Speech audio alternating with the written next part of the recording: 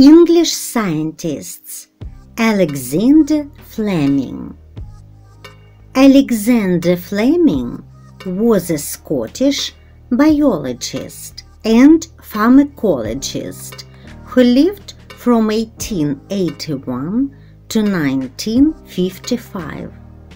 He is famous for discovering the first antibiotic called penicillin in 1928.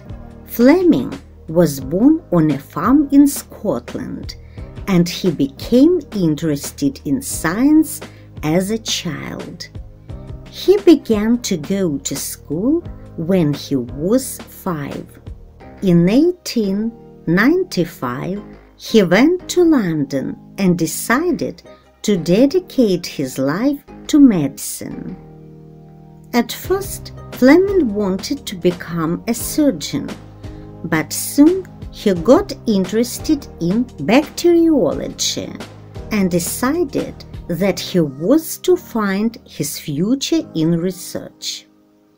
He studied medicine and became a professor of bacteriology at St. Mary's Hospital in London. Fleming wrote numerous papers on bacteriology, immunology, and chemotherapy. He spent his working hours in hospitals and laboratories. He went from home to his laboratory every morning and went home from his laboratory every night. In 1928, while working with bacteria in his lab, Fleming noticed that a mold called Penicillium was growing on one of his culture plates and had killed the bacteria around it.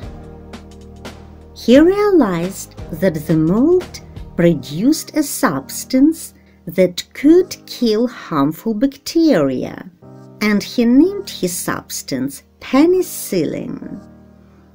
Fleming's discovery of penicillin revolutionized medicine and saved millions of lives by making it possible to treat bacterial infections that were previously untreatable. Fleming was knighted for his scientific achievements in 1944. He was awarded the Nobel Prize in Medicine in 1945 for his work on penicillin.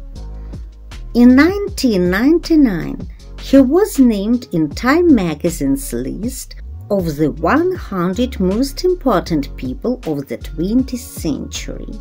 Fleming's discovery also led to the development of other antibiotics and laid the foundation for modern antibiotics research.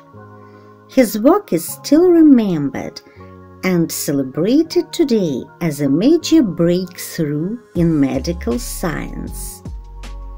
When he died in 1955, his old friends said, by his work he relieved more suffering than any other living man.